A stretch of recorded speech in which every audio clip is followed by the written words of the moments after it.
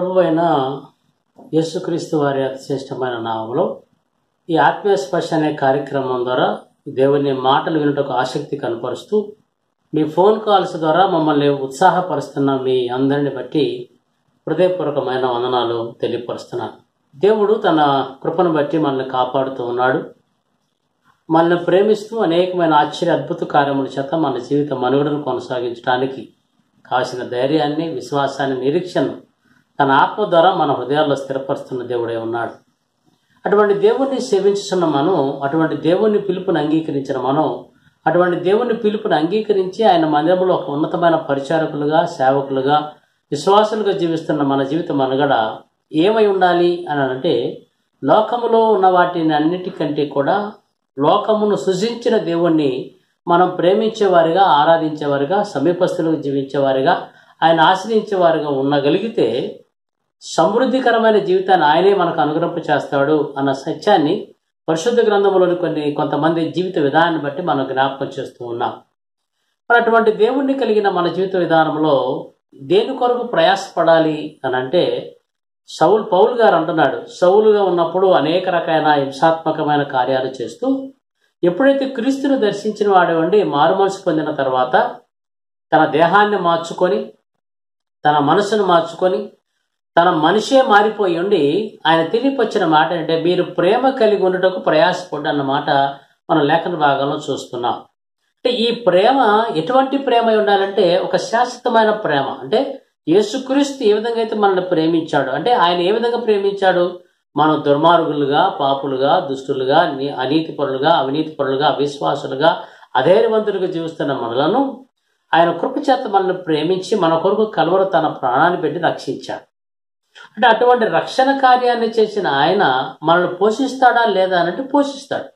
కానీ ఈ పోషిస్తాడన్న నమ్మకం లేక మనిషిగా లేక మానవునిగా లోక సంబంధమైన ఆలోచనతో శరీర సంబంధమైన ఆలోచనతో ఏం చేస్తున్నామంటే మనం బ్రతకడానికి ఏదైతే అవసరమో దాన్ని కోరకుండా మనం బ్రతకడానికి అశాశ్వతమైన దాన్ని కోరుకుంటూ మనం దేవునికి దూరస్తులుగా ఉంటూ ఉన్నాం. ఏమిటి అశాశ్వతమైనది అంటే ధనము. ఇది లోకములో ఉన్నంత వరకు అయినా సరే మనకి ఏదైనా సంతోషాన్ని ఇస్తుందానంటే ఇవ్వదు. అందుకనే భక్తుడు చెప్తున్న మాటలు మనం ధ్యానం చేద్దాం. ఈరోజు అంశం ఏమిటంటే ధనము. ఈ ఆత్మీయ స్పర్శ అనే కార్యక్రమం ద్వారా ధనము కొరకు ప్రయాసపడుతూ అనేక రీతిలుగా వ్యధ ఆ ప్రయాసలు చేస్తూ కష్టపడి సంపాదించాలని ఒక ఆలోచన ఉన్నా కొంతమంది అబద్ధములాడుతూ సంపాదిస్తున్నారు మోసం చేస్తూ సంపాదిస్తున్నారు అదే రీతిలో అనేక అన్యాక్రాంతమైన జీవితాన్ని జీవిస్తూ ఆ ఇరుగు వారిని ఇరుగు పొరుగు వారిని ఆశిస్తూ సంపాదిస్తున్నారు. ఈ విధంగా అనేక రకాలైన ఆలోచనతో ధన సంపదను సమకూర్చుకున్న వారే ఉన్నారు. అంటే అటువంటి ధన సంపదను సమకూర్చుకున్న వారు ఏమి గ్రహించట్లేదు. ధనమే కొరకే ధనమే శాశ్వతమని ధనమే ప్రాణమని ధనమే మన జీవిత మనుగడ అన్న సత్యాన్ని వారు ఎరిగి వారు ఏం చేస్తున్నారంటే ధనాన్ని సంపాదిస్తున్నారు. కానీ సంపాదించిన ధనం వారికి ఉపయోగకరంగా ఉంటుందా అని అంటే ఉండదు. ఎందుకనంటే దావీదు భక్తుడు ఒక గొప్ప రాజు అయి ఆయన రాజరికంలో ఆయన ప్రజలను ఒక క్షేమకరమైన జీవితాన్ని అనుగ్రహింప చేసినప్పటికీ కూడా ఆయన ఒక కీర్తనలో ఒక మాట అంటున్నాడు. ఏమిటి ఆ మాట? అంటే ధన సంపద సంపాదిస్తున్న వ్యక్తి తన తన ఏమిటో తన బ్రతుకేమిటో తన జీవితం ఏమిటో తన మనుగడ ఏమిటో తన శరీరం యొక్క స్థితిగతులు ఏమిటో తన ఆత్మ యొక్క స్థితిగతులు ఏమిటో ఎరుగకయే ప్రయాసపడుతున్నాడు అన్న సత్యాన్ని ఎరిగి దావీదుకు వచ్చిన ఒక వచనాన్ని మనకు తెలియపరుస్తున్నాడు. ఏమిటి అనంటే ఆ వచనాన్ని చదువుగా కీర్తనకారుడు ముప్పై తొమ్మిదవ దావీదు కీర్తన ఆరో వచనంలో ఒక మాట అన్నాడు. చదువుగా మనుషులు ఒట్టి నీడ వంటి వారై తిరుగులాడుదురు. వారు తొందరపడుట గాలికే కదా. వారు ధనము కూర్చుకొందరు కానీ అది ఎవరికి చేజిక్కునో వారికి తెలియదు. ఇక్కడ ఖచ్చితంగా చెప్తున్న మాట అంటున్నాను అక్కడ. మనుష్యుడు ఒట్టి నీడ వంటి వారై తిరుగులాడుదురు. అంటే మనిషి దేని కొరకు తిరిగినా వారు నీడ వంటి వారే. నీడ అంటే నీడ అంటే ఒక క్షణం ఉండి మాయమయ్యేది. ఒక క్షణం ఉండి మాయమయ్యే ఆ నీడ వంటి వారని తెలియక వారు ఏం చేస్తున్నారంటే తిరుగులాడుదురు. వారు తొందరపడుట గాలికే కదా. అంటే తొందరపడుతున్నారు. దేనికనంటే సంపాదించాలి. అందుకనే దేని కొరకు తొందరపడుతున్నారు? దేని కొరకు తిరుగులాడుతున్నారంటే కింద మూడో లైన్లు అంటాడు అక్కడ వారు ధనము కూర్చుకొనుట కొందరు కానీ అన్నమాట.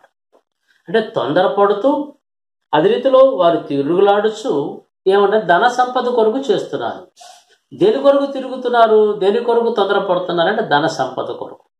అంటే ఈ ధన సంపద కలిగి కొరకు తొందరపడుచున్న వారు సత్యాన్ని గ్రహించాలని వారు తిరుగులాడుచున్న విధానాన్ని వారు గ్రహించాలి ఏమిటంటే మేము వట్టి ఊపిరి వంటి వారము అన్న సత్యాన్ని వారు గ్రహించాలి అన్న సత్యాన్ని లేఖన భాగం తెలియపరుస్తాం అందుకని అక్కడ అంటాడు మనుషులు వట్టి నీడ వంటి వారై తిరుగులాడుదురు. రెండో మాట అంటాడు వారు తొందరపడుట గాలికే కదా వారు ధనము కూర్చుకుందరు కానీ అది ఎవనికి చేజిక్కునో వానికి తెలియదు. అంటే వారు తొందరపడు తొందరపడుతున్నారు సంపాదిస్తున్నారు. తిరుగులాడుతున్నారు సంపాదిస్తున్నారు. అంటే సంపాదించిన ఆ సంపదను బట్టి వారు సత్యాన్ని గ్రహించాలంటే ఇది ఎవరికి చేజిక్కించను? ఒక ఉదాహరణకి సంఘంలో ఒక మామగారు ఉన్నారు. ఆమెకి ఎవరు లేరు. ఆమెకున్న ఆ తన భర్త చనిపోయాడు.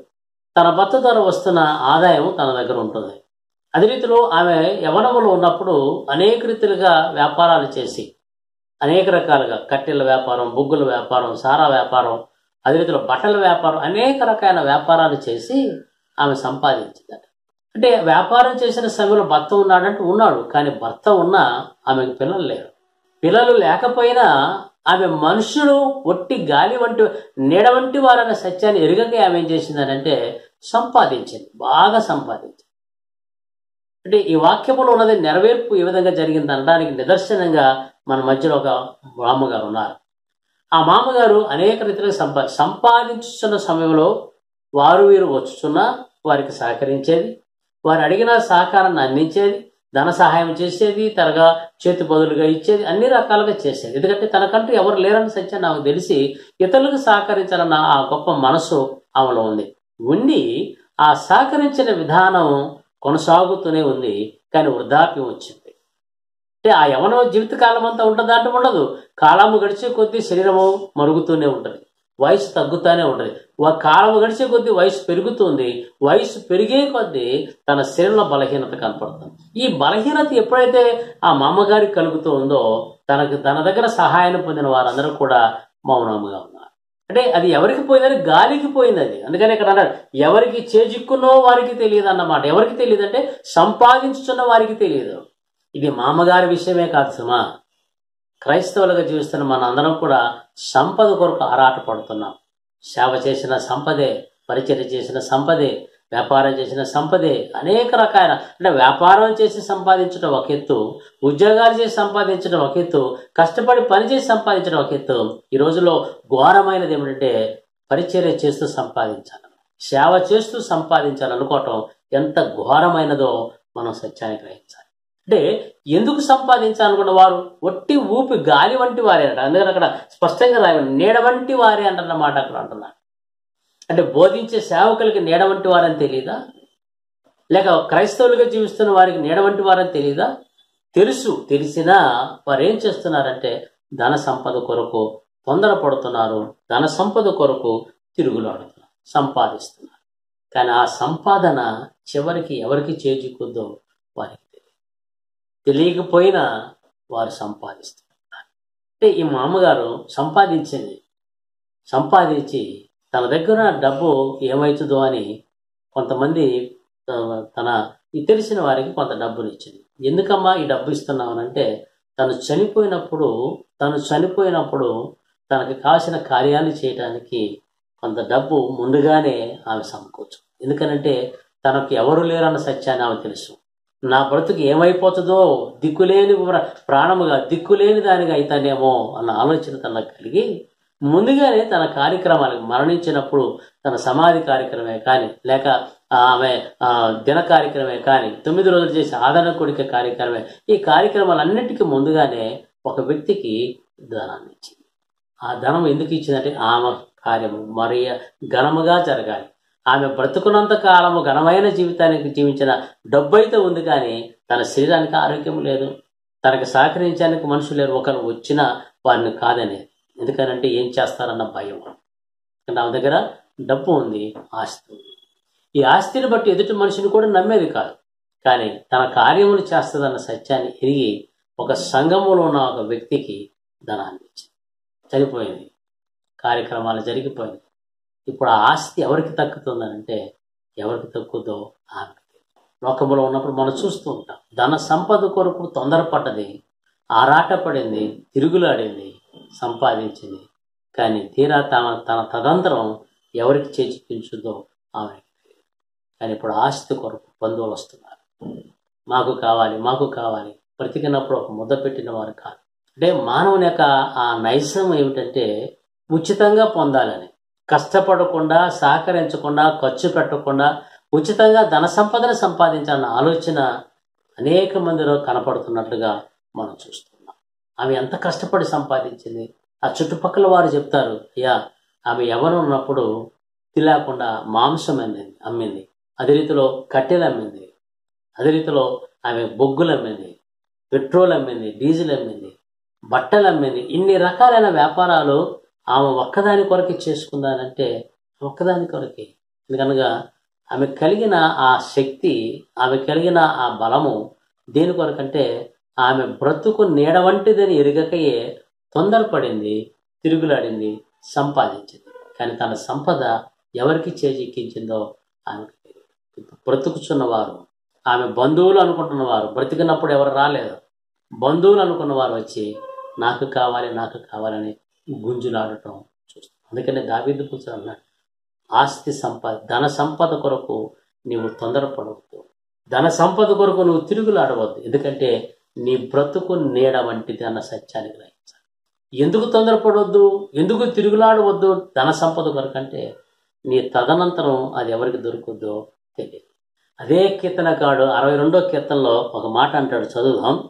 అరవై రెండో కీర్తనలో ఇంకో మాట అంటున్నాడు ఏమనంటే ఒకసారి అరవై రెండవ దావీది కీర్తన పదవ వచనాన్ని ఒక్కసారి లేఖన భాగం చదువు బలకాలముందు నమ్మకం ఉంచుకొని దోచుకునుడి చేత గర్వపడుడి గర్వపడకుడి ధనము ఇచ్చినను దానిని లక్ష్య పెట్టకుడి. మనిషి ధనము పెరిగే కొద్దీ దాని ఎందు లక్ష్యం ఉంచుతాడు. ఎందుకు ధనమందు ధనము ఇచ్చినను లక్ష్య పెట్టద్దని యేసు ప్రభువారి లోకములు జీవించ చెప్పిన మాట నీ హృదయ ధనం ఎక్కడ ఉండునో నీ హృదయం అక్కడ ఉండు యేసు ప్రభువారు చెప్పిన మాట సత్యం చెప్పినాడు ఆయన. అంటే మానవుని యొక్క జీవితానికి ధన సంపద ప్రాముఖ్యం కాదు ధనము ప్రాముఖ్యం కాదు. అందుకని అంటాడు యేసుక్రీస్తు ప్రభువారి లోకంలో జీవించినప్పుడు సాతాను తాను శోధించినప్పుడు అంటది. ఏమంటాడంటే ఆయన అంటాడు అమ్మా ఇది మనుషుడు ద్రాక్షారసం వల్ల కాదు రొట్టె వల్ల కాదు బ్రతికేది. ఆయన నోట నుండి వచ్చి మాట వల్ల బ్రతుకునన్న మాట ప్రభు చెప్పిన మాట చూస్తున్నాం. అంటే ఆయన నోట నుండి వస్తున్న మాటలు మనం గ్రహించగలిగితే ఎందుకు గ్రహించాలి? అంటే మనం నీడ వంటి వారమన్న సత్యాన్ని తెలుసుకోవాలి. నీడ వంటి వారమన్న సత్యాన్ని ఎరిగి ఆ నీడలాంటి జీవితాన్ని దేవుడు ఏ విధముగా తీర్చిదిద్దుతాడో ఏ విధముగా ఆ దేవుని యొక్క ఉన్నతమైన కాపుదల భద్రపరుస్తూ ఆయన రాకడ కూడా సిద్ధపడుకునే రీతిలో ఆయన కృపను చూపిస్తున్న సత్యాన్ని ఎరిగిన వారమై ఉండి తన కృప కొరకు మనం తొందరపడుతూ లేక ఆయన కొరకు కనిపెట్టగలిగినట్టుగా మనం తిరుగులాడుతూ ఈ లోకంలో జీవించాలి తప్ప ధన సంపద కొరకు కాదన్న సత్యం. ఎందుకనగా ఆ ధనము సంపాదిస్తే అది ఎవరికి దొరుకుద్దో ఎవరికి చేజిక్కుద్దో తెలియదన్న సత్యాన్ని అక్కడ తెలియపోసాను నేను ఇక్కడ అంటాడు దావీద భక్తుడు బలత్కారముందు నమ్మకం ఉంచకుడి. బలత్కారం అంటే మనం బలవంతంగా సంపాదించే ప్రయత్నం చేస్తుంటాం.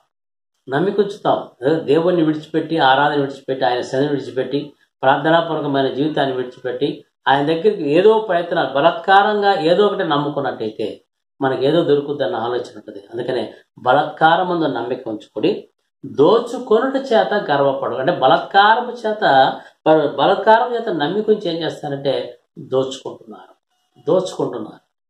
ఏ విధంగా దోచుకుంటున్నారంటే అన్యాక్రాంతముగా కష్టపడి సంపాదించిన డబ్బుని కుటుంబ సభ్యులే దోచుకుంటున్నారు. ఎవరి కోసం ఇస్తావు?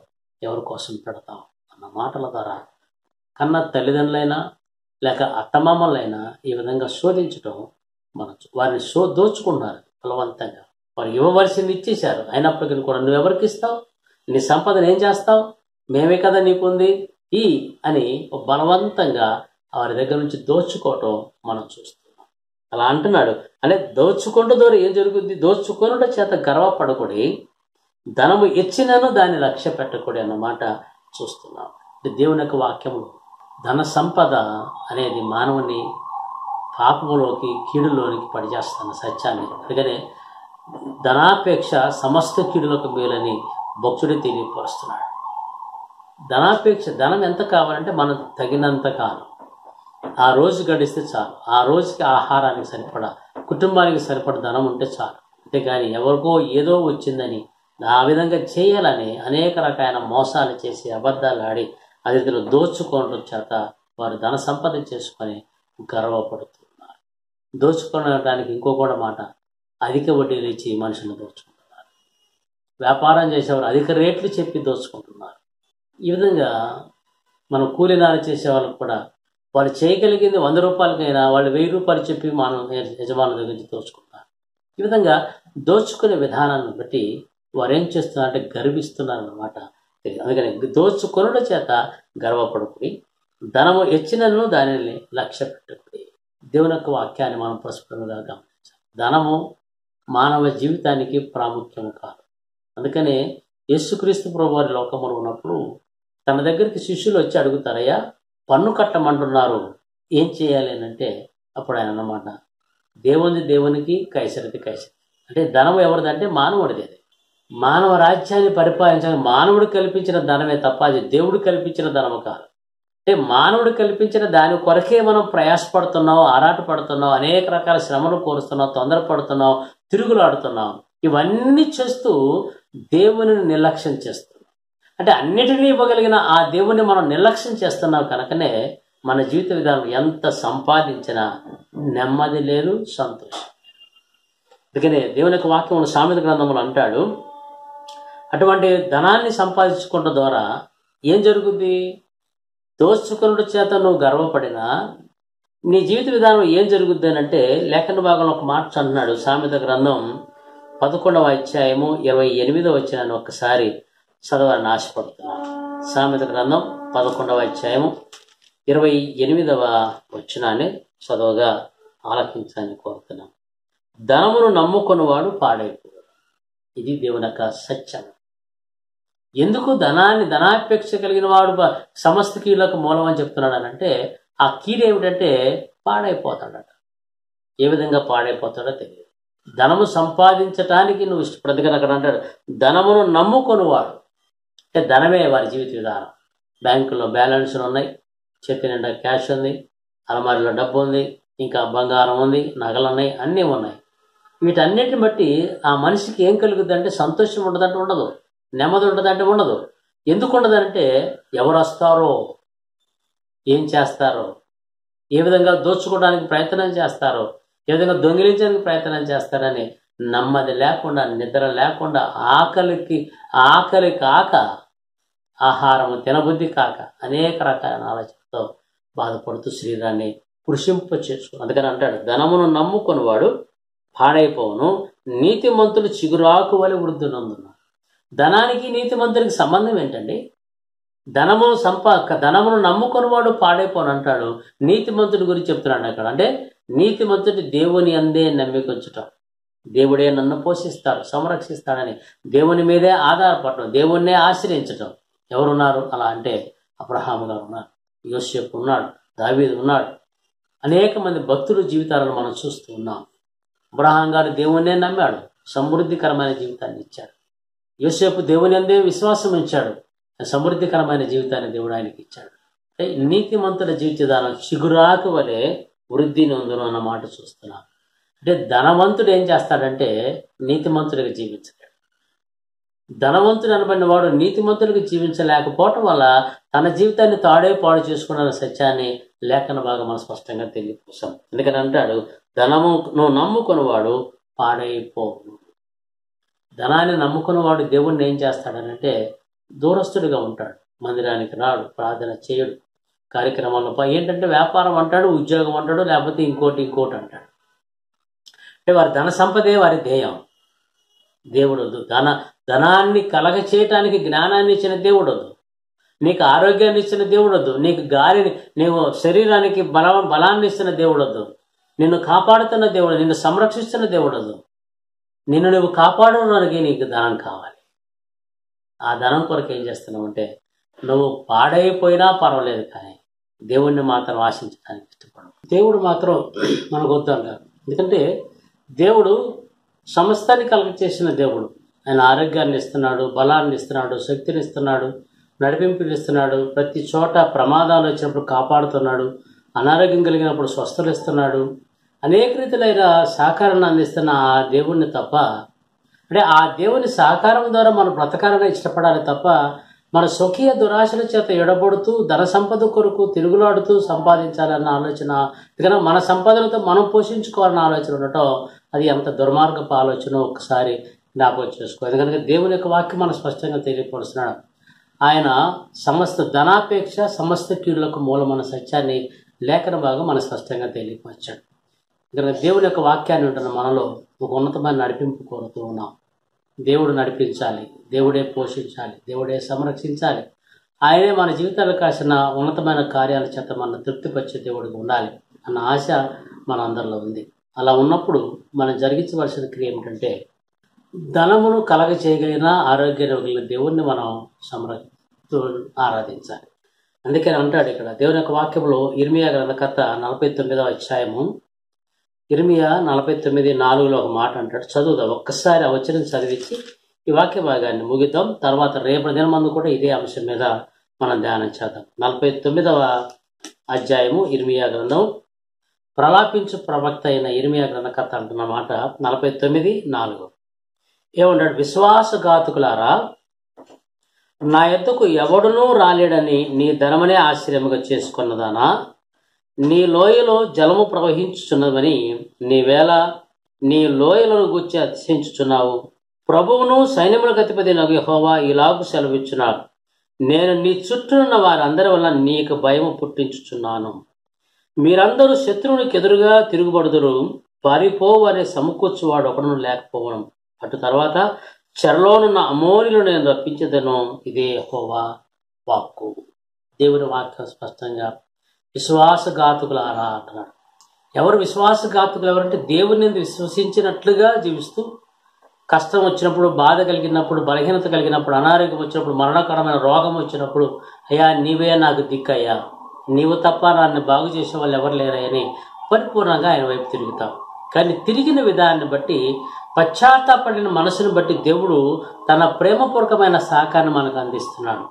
ఆరోగ్యాన్ని ఇచ్చాడు బలాన్ని ఇచ్చాడు ఆయుష్ని ఇచ్చాడు. అనేక రకమైన పోషణ పదార్థాలు ఇస్తూనే ఉన్నాడు వస్త్రాలు ఇస్తున్నాడు గృహాన్ని ఇచ్చాడు అన్నీ ఇస్తున్నాడు సమాజంలో మంచి పేరు కూడా ఇస్తున్నాడు. వీటన్నిటిని ఇస్తున్నప్పుడు కూడా మన మనుగడ ఎలా ఉందంటే విశ్వాసఘాతుకుల వలె ఉన్నాం. అందుకని అక్కడ అన్నాడు విశ్వాసఘాతుకురాలా నా ఎద్దుకు ఎవడను రాలేడని నీ ధనమనే ఆశ్చర్యంగా చేసుకున్నదానా? అంటే దేవుని దగ్గరికి ఎవరు రారు? నా ధనాన్ని బట్టి నా దగ్గరకు వస్తారు అన్న ఆలోచన చేసుకున్నదానా? అలా ఆలోచన నీకున్నప్పుడు నీ మనుగడ ఎలా ఉంటుంది అని అంటే అక్కడ అంటన్నమాట ఖచ్చితంగా అంటన్నమాట ఏమంటే నేను నీ చుట్టూనున్న వారందరి వలన నీకు భయము పుట్టించుచున్నాను. ఏమిటా భయం? నా కూతురు భవిష్యత్తు ఏమైద్దో? నా భార్య జీవితం ఏమైద్దో? నా కుటుంబం ఏమైద్దో? అన్న భయం నీలో కలుగుతుంది. దానికి కారణం ఏమిటంటే విశ్వాస ఘాతుకుల వల్లే జీవిస్తున్నావు. విశ్వాసుల వల్లే దేవుణ్ణి ఆశ్రయించట్లా. విశ్వాసం అంటే దేవుడు నాకు సమృద్ధిని ఇస్తాడు సమస్తాన్ని కలగచేస్తారు నమ్మకం లేకపోవటయే విశ్వాసఘాతు లేక జీవితాలు. అంటే మనకి భయం ఉంది. నా కూతురు జీవిత విధానం ఏమిటి? నా భవిష్యత్తు ఏమిటి? నా భార్య బరు- బతుకేమిటి నా కుటుంబం యొక్క స్థితి ఏమిటని నీలో నీవు మదన పడుతూనే ఉంటావు. నీ దగ్గర ఉంది ధనము. ధనం లేక కాదు. ధనం ఉంది. కానీ నీ మనసులో ఏమనుకుంటామంటే దేవుని దగ్గరికి ఎవరు వస్తారు? నా దగ్గరికి వస్తారు? ఎందుకంటే నేను ధనాన్ని ఆశ్రయించి సంపాదించాను కనుక నా దగ్గరికి వస్తారనుకుంటున్న నీవు భయముతో జీవిస్తావన్న సత్యాన్ని లేఖన భాగం మనకు స్పష్టంగా తెలియజేస్తుంది. ఈ వాక్యాన్ని విన్న మనలో సత్యాన్ని నేర్చుకుందాం. ఆ ధనముల గురించి కాక సమస్తాన్ని ఇవ్వగల దేవుని మీద ఆశ్రయిద్దాం. ఆయన నమ్మికొంచుదాం? ఆయనతో సహవాసం కలిగి సమృద్ధికరమైన జీవితాన్ని. ఎవరు దొంగలించలేని దీవి ఆశీర్వాదకరమైన జీవితాన్ని ఆయన దగ్గర నుంచి పొందాం దేవుడి మాటలు మన హృదయంలో ఫలింపచ్చండి నాకు ఆమె ప్రార్థన చేద్దాం. మమ్మల్ని మిక్కిలిగా ప్రేమించిన మా ప్రియ పరలోక తండ్రి ఈ ఆత్మ స్పర్శ కొనసాగుటకు నాయన మీరు చూపుతున్న కృపను బట్టి కనికరాన్ని బట్టి మీకు నాయన ఈ ఛానల్ ద్వారా మీతో మాట్లాడుకును అయ్యా ప్రతి ఇంటిలోనికి వెళ్ళి ఇంట్లో గృహాలలో ఉన్న ప్రతి సభ్యుడితో సభ్యురాలతో మాట్లాడినట్టుగా ఉపదేశించినట్టుగా బోధించినట్టుగా మీరు మాకు ఇచ్చిన నీ ఇది మన నాయన ధన ధనము గురించి అంశము ధనము అనబడిన అంశం. మీద బైబిల్ గ్రంథంలో నా భక్తుల జీవితాన్ని జ్ఞాపకం చేసుకుంటూ వాళ్ళు లిఖించిన సత్యాన్ని తండ్రి మేము ప్రకటించుండగా ఆ ప్రకటించబడిన ఆ వాక్యపు వెలుగునైనా ప్రతి ఒక్కరిపై వెలిగించినట్టుగా నీ కృప చూపించమని ఏ సమస్తాన్ని జరిగించగలిగిన దేవుని వైపు చూడగలిగిన కన్ను కలిగి జీవించేదిలో ప్రతి ఒక్కరిని ఆయత్తపరచమని నీ సన్నిధిలో ప్రార్థన చేస్తూ చెప్పని వాక్యం మా మనుషులు కొట్టుకుపోకుండా జాగ్రత్త కాపాడని భయాన్ని భక్తి నాకు మాకు అనుగ్రహం రకముగా ఏ కుటుంబంలో ఎటువంటి సమస్యలు లేకుండా సంతోష సమాధానం కలిగి జీవించినట్టుగా నీ వాక్యపు వెలుగు ప్రతి ఒక్కరికి అనుగ్రహింపు చేసి మీరు మహిమ తెచ్చుకోనమని అయ్యా ఆత్మీయ స్పర్శ కొనసాగించటకు నాయన ఆర్థిక సహకారాన్ని అందిస్తున్న నిసి అవాంజలను తన భర్తను మీరు జ్ఞాపకం చేసుకునండి. తన జీవితాలను చిత్త ప్రకారముగా మలుచుకొని మీరు మహిమ తెచ్చుకోమని నీ చిత్తమైతే నీ రాకడ వారికి ఆశను బహుమానం కనుక మార్గాన్ని చూపించి మీరు మహిమ ఘనత ప్రభులు ఆరోపించుకోనమని నా ప్రభును నీ ప్రియకుమారుడు యేసుక్రీస్తునామలు ప్రార్థించి వేడుకొచ్చున్నాను తండ్రి. అందరికీ ప్రభు యేసుక్రీస్తు నామములో మీ అందరికీ వందనములు. దేవుని యొక్క పిలుపును బట్టి తెలుగేతర రాష్ట్రమైన కర్ణాటకలో గడిచిన అనేక సంవత్సరం నుంచి సేవ చేయుటకు ప్రభు నడిపించిన విధానం బట్టి ప్రభును స్థుతిస్తూ ఉన్నాను. రెండు వేల పదిహేడు వరకు అనేక సంస్థలలో అనేక విధమైన పరిచయలు చేసి ఎన్నో ప్రార్థనల తర్వాత ప్రభు తెరిచిన ఒక ద్వారమును బట్టి హెబ్బగుడి అనే ప్రాంతంలో సౌత్ బెంగళూరులో మందిర పరిచయ కొరకు దేవుడు ఒక చక్కటి ద్వారాన్ని తెరిచాడు. ఒక రెండు కుటుంబాలతోటి ఆ యొక్క మందిర పరిచయను ప్రారంభించి రెండు వేల పదిహేడులో తొలి దినాలలో ఈ సిటీ తెలుగు చర్చ్ అనే పేరుతో పరిచయను జరిగిస్తూ వచ్చాం. దేవుడు ఎంతో ఆశ్చర్యకరముగా అనేక కుటుంబాలని మందిరములో చేర్చి వచ్చాడు. తర్వాత దినాలలో పరిచయకు హోసేను మినిస్ట్రీస్ హోసేను తెలుగు చర్చ్ అనే పేరుతో ఈ యొక్క పరిచయను కొనసాగిస్తూ ఉన్నాం. హోసేను అనగా దేవుని నామములో ఒక నామము రూపించు దేవుడు. అనగా ఈనాడు మనం ఉన్నటువంటి జీవితాలు ఇలాగే ఉంటాయని కాదు. మన జీవితాలు నిత్యము దేవుని హస్తముల ద్వారా నూతనముగా రూపించబడాలి అనే ఉద్దేశముతో ఈ నామము నుంచి పరిచయం కొనసాగిస్తూ ఉన్నాం. అనేక కుటుంబాలు చర్చ్ బట్టు ద్వారా ప్రస్తుతము అద్దెకు హాల్ తీసుకొని నడిపించబడుతున్న స్థలము చాలకపోవటం ద్వారా మందిరం యొక్క అవసరతను బట్టి గడిచిన సంవత్సరాలలో చేసినటువంటి అనేక ప్రార్థనలు వాటికి ప్రతిగా ప్రభు ఒక స్థలమును మాకు చూపించి ఉన్నాడు. దేవుని యొక్క కృపను బట్టి భారమును బట్టి ఇక హెబ్బగుడి ప్రాంతంలో తెలుగు మరియు కన్నడ ప్రజల మధ్య మందిర స్థల సేకరణ మరియు నిర్మాణము చేయుట కొరకు ఈ గొప్ప పనిని చేయుటకు పూనుకొని ఉన్నాము. అయితే దేవుడు చూపించినటువంటి ఈ మూడు వేల చదరపు అడుగుల స్థలమును మరి కొనుగోలు చేయుటకు అదే రీతిగా అక్కడ మందిర నిర్మాణం చేయుటకు మీ అందరి సహకారములు విరాళములు నాకు ఎంతగానో అవసరమై ఉన్నవి. ప్రార్థనలతో దేవుని ప్రేరేపణతో ఈ యొక్క పరిచయలో పాలిభాగస్తులు కావాలని ప్రేమపూర్వకంగా కోరుకొనిచున్నాను ఒకవేళ మీరు ప్రేరేపించబడిన వారు ఎవరైనా ఉంటున్నట్లయితే అందించబడినటువంటి వివరములు సంప్రదించండి. కనీసము ఒక అడుగుకైనా మీ వంతు వరకు సహకారం అందించి లేక దేవుడు ప్రేరేపించినటువంటి కొలది ఈ పరిచర్యలో మీరు పాలు పాలుభాగస్తులై అనేక తరములకు సంవత్సరాలకి సుస్థిరంగా ఉం- ఉండిపోయే ఈ దేవుని మందిర నిర్మాణ విషయంలో పాలుభాగస్తులు కావాలని కోరుకొనిచ్చి ఉన్నాము ఇక్కడ ప్రతి ఒక్కరు పాలుభాగస్తులై ఇక్కడ మీకు ఇవ్వబడుతున్న వివరంలో మీరు సంప్రదిస్తూ మీ యొక్క ప్రేమపూర్వకమైనటువంటి కానుకలను విరాళములను అందించవలసిన కోరుకొనిచున్నాం ప్రార్థనలు చేయండి. అనేకులు తెలియచేయండి. ఈ ఘన కార్యములో ప్రతి ఒక్కరు పాలిభాగస్తులు కాండి. దేవుడు మిమ్మల్ని దీవించును గాక ఆమెన్.